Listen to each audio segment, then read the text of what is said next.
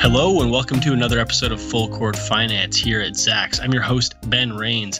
And today we're taking a look at three nuclear energy stocks to consider buying now and possibly holding for the long term as the energy sector, especially the energy transition sector, could be starred by nuclear power. So, Today we're looking at Rolls Royce, BWX Technologies, and Constellation Energy. But before we get everything, remember to subscribe and leave a review wherever you listen to your podcast, and make sure to check out our Zacks.com slash promo page for a look at some of our services, portfolios, and more. So before we jump into these three stocks, I want to do a broader overview of the nuclear energy space just to give everyone a sense of why I'm so bullish and why Wall Street's become so bullish on the space in general and then the three stocks we're going to dive into today. So, nuclear energy's ability to provide continuous carbon free power made it one of the primary candidates to power a growing global economy if fossil fuel use is to be reduced over time. That's kind of the basic idea.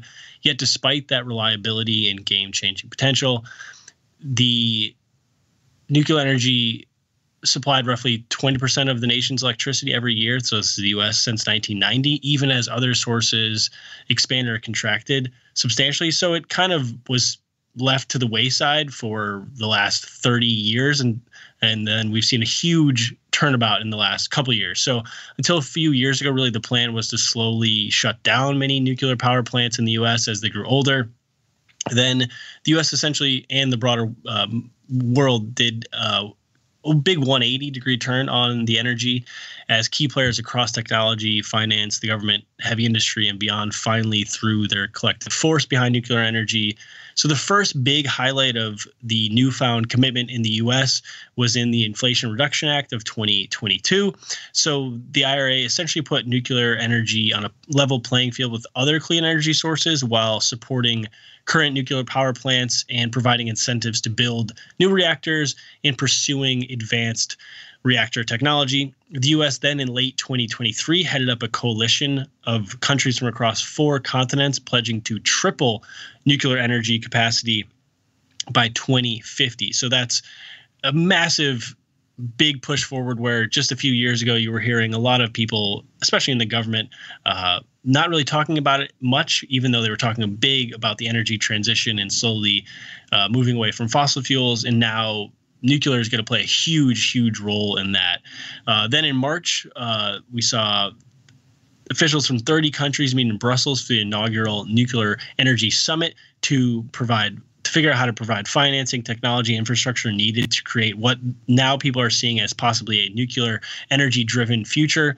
And then in July, early July, President Biden signed the ADVANCE Act, which is a bipartisan legislation to help accelerate the recent resurgence of nuclear energy in America via numerous efforts. This includes speeding up the timeline for licensing, uh, cutting a lot of red tape because there's just a lot of back end stuff that makes it very hard to get these reactors off the ground. And if you are trying to slowly transition away from fossil fuels, you can't have these projects take decades and decades. So there's been a huge push in just the last several years alone from the US government to finally get behind this industry after I said, as I said, essentially 30 years of complete stagnation.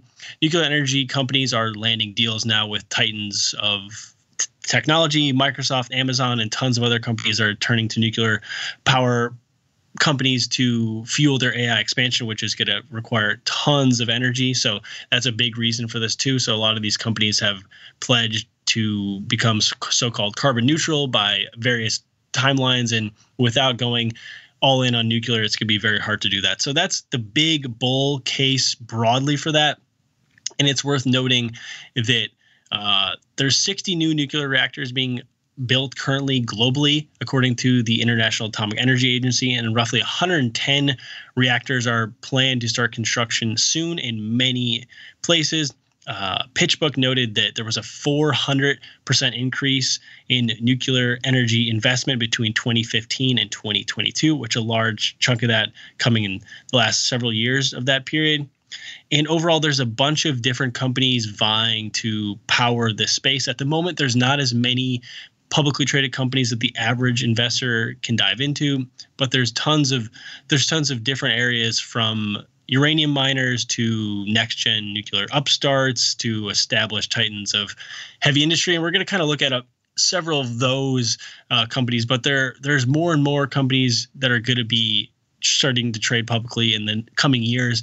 But overall, uh, those are kind of the areas where people in Wall Street are starting to look at. And it's worth noting that uh, two of the six top performing S&P 500 companies so far this year are nuclear energy companies as investors are clamoring to buy the companies that will slowly power the world going forward and the artificial intelligence age if all goes to plan at the moment. So the first of these companies we're going to dive into today is Rolls Royce. Some people might think of it as a fancy car maker. Uh, they still do make fancy cars, but that's a very, very, very tiny part of their business. So the company trades in the ticker in the US R Y C E Y. So it trades over the counter. If that scares you, it's okay. But if you look into it, it's it's nothing too scary. They have a, a huge volume as well. So it's a stock I own personally and I own in the alternative energy innovators portfolio. So, Rolls Royce is a historic engine maker at the cutting edge of complex power and propulsion solutions for aircraft, ships, and more. It is focused on a more sustainable future for its business, and the firm is at the forefront of small modular nuclear reactor technology. So, you hear that's that SMR phrase you might see in headlines. Rolls Royce is utilizing its expertise in nuclear propulsion systems to push forward the new age of nuclear energy Rolls Royce has designed its own cutting edge SMR technology in what it calls microreactors. So they envision a future where SMRs, so those small modular reactors, power the economy, and then micro nuclear reactors provide baseload power in isolated places uh, as well as remote industrial locations. They even have, if you go on their website, the idea of maybe one day having these reactors on the moon and powering uh, bases and civilization on the moon one day.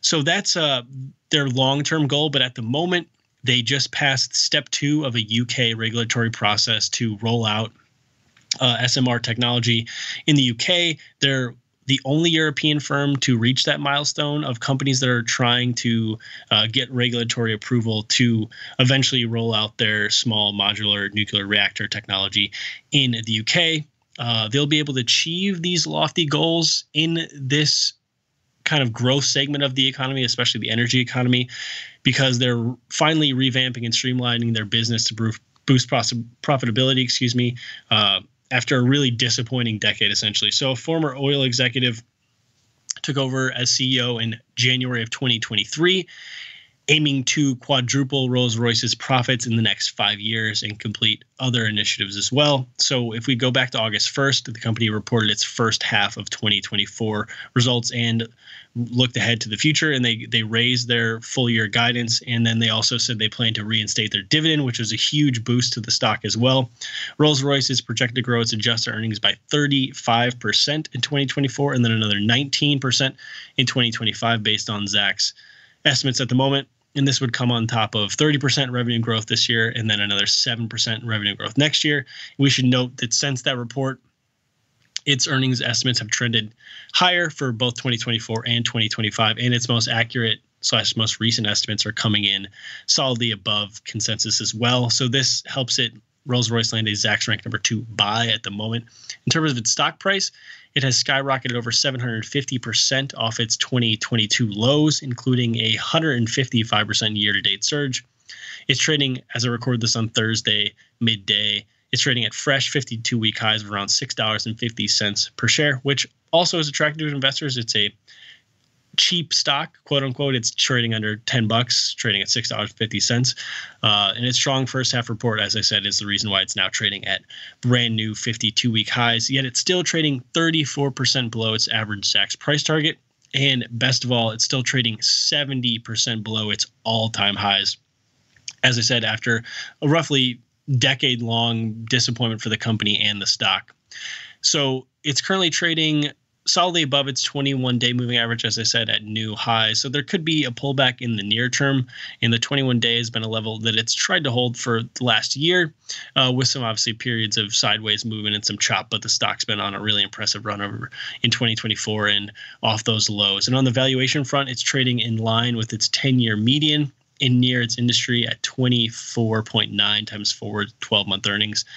And five of the six brokerage recommendations that Zacks has are sitting at strong buys. So Rolls Royce is a, a low price stock that's going to be hopefully at the cutting edge of this new age of nuclear energy technology. And it also has a lot of other big parts of his business that aren't making it solely reliant on the quick rollout of this technology, which some of these other smaller companies are reliant on. Some of these uh, more like speculative nuclear energy stocks are. So Rolls Royce is kind of a, a, good combination of both worlds, where it's a big company that's betting on its future, but not the stock isn't totally reliant on this at the moment. And now we're going to move on to another company, and that is BWX Technologies, which trades in the ticker BWXT. It's another stock I own personally and have in the Alternative Energy Innovators portfolio. So, BWX Technologies is a top supplier of nuclear technologies, components, and fuel to the U.S. government, including to U.S. naval submarines and aircraft carriers. It is actively growing, though, its commercial nuclear power segment in non defense units. It's located in Lynchburg, Virginia, and its portfolio spans in general from clean energy, environmental restoration, space exploration, obviously aerospace and defense, and beyond. One of its uh, production facilities in Cambridge, Ontario, so in Canada, is the one of the largest commercial nuclear equipment manufacturing facilities on the planet. The company said recently that it's expanding that plant to quote support ongoing and anticipated customer investment in small modular reactors, traditional large-scale nuclear and advanced reactors in Canada and around the world. So that's where they see the the commercial side going. And then in late April, the firm was selected as the first qualified supply chain company to join the GE Vernova nuclear supplier group, which is a, a new pub, relatively new publicly traded company when GE split off into three different publicly traded companies. The company in June then was awarded the second phase of a contract with the Wyoming Energy Authority to quote assess the viability of developing small scale nuclear reactors in the state it also has contracts with the Bill Gates backed SMR company TerraPower, and it's helping provide nuclear systems and fuel for a first of a kind, first of a kind uh, nuclear powered spacecraft, and that's with a uh, U.S. government contract. So it's it's got a huge line of business all in the broader nuclear world, and it's uh, going all in on the commercial side of the business as well, while benefiting, as I said, from those continued government contracts and in the more aerospace and defense sector of the, the market. The company posted a beat and raise second quarter on August 5th, and the CEO pointed to the ongoing, quote, appetite for nuclear solutions across the security, clean energy, and medical markets as the reason for its increased optimism. BWXT is projected to grow its revenue by 6% in 2024 and another 5% next year to pull in 2.8 billion to help boost its adjusted earnings by 6% and 5% respectively. The company topped our earnings per share estimates for six quarters running, and overall, its shares have climbed 250% in the last 10 years. This outpaces the S&P 500, which is up about 190%, and its industry is 110% climb. It broke out to new all-time highs after being rejected a few times uh, last summer, and it's now up 38% during the last 12 months and 30% year to date. At the moment, it's trading above its 21 week moving average, but slightly below its all time highs from earlier this year. Uh, it got rejected from breaking above new all time highs in July when it, it failed to break out above its early March highs, and it's back above its 21 day moving average at the moment, trading at roughly neutral RSI level. So there could still be some more near term legs for the stock before it reaches any uh, selling pressure. And overall, despite trading near its all time highs, BWXT trades at a 50% discount to its highs in terms of its PEG ratio, which is its uh, earnings outlook fa- or factoring into its longer term earnings outlook uh, at 3.5. So, despite trading near its all time highs, its earnings growth outlook helps it, uh, its valuation levels look pretty solid. So, BWXT is another company that certainly looks worth considering as the broader commercialization in the next generation of nuclear power in the US and abroad uh, gain steam. And the last company we're looking at is Constellation Energy, which trades in the ticker CEG. Constellation Energy is arguably the nuclear energy powerhouse in the U.S. producing roughly 10% of all the country's clean and renewable energy. It is uh, its nuclear power facilities alongside its smaller hydroelectric, wind, and solar units power the equivalent of 16 million homes in the U.S. It's benefiting from the energy focus aspects of the Inflation Reduction Act, which essentially provides a price floor for nuclear power in the U.S. and helps it putting on a put it on a level playing field with other uh, clean energy sources. It's poised to improve its current nuclear power plants and then keep them running for as long as possible. It's also aiming to expand into next gen nuclear through small modular reactors. The firm is also ready to grow through mergers and acquisitions and return more capital to shareholders via buybacks and dividends. So the company had been on a big tear and then in February of 2024, so this past February, it announced plans to grow its dividend per share by 25% in 2024, exceeding its 10% annual growth target. So that was a huge boost to the stock. On top of that, the company said it's targeting long term base earnings per share growth of at least 10% through the end of the decade. It has bought back roughly 50 million, or excuse me, 500 million shares of common stock in the second quarter, boosting its total repurchases to nearly 2 billion so far. And it still has 1 billion, roughly 1 billion remaining of authority on its current plan to repurchase more stock. The company boosted its adjusted 2024 earnings guidance after it topped our Q2 estimates on August 6th, and it reaffirmed its ability to grow its adjusted earnings by at least 10% uh, through 2028, with its visible double digit long term earnings per share growth backed in part by the Nuclear Production Act tax credit. The company is expected to grow its adjusted earnings by 57% in 2024 and then 18% in 2025.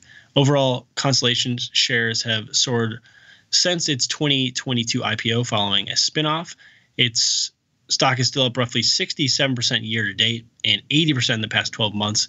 And that's despite a much needed cool down from its highs. It, it got overheated along with many of these other tech stocks because as i said it's still one of the best performing s&p 500 stocks so far this year but like a lot of these companies just got a little overheated and it's still as i said up 67% year to date despite falling around 15% from its may records.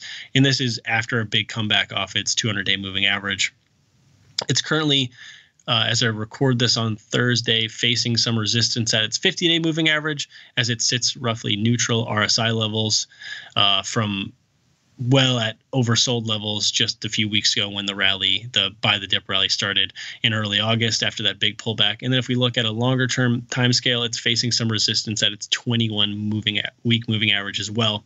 Uh, in terms of forward earnings, uh, Constellation is trading at 21.8 times forward earnings, which is at 32% discount to its highs, even though it's trading only 15% below its highs in terms of its price. So overall, Constellation Energy is another strong nuclear energy stock to consider and one of the biggest players in the entire nuclear energy space here in the United States so far. So certainly these three stocks, if you're looking to get into what could be the dominant energy source if we say look ahead 20 30 40 50 years from now.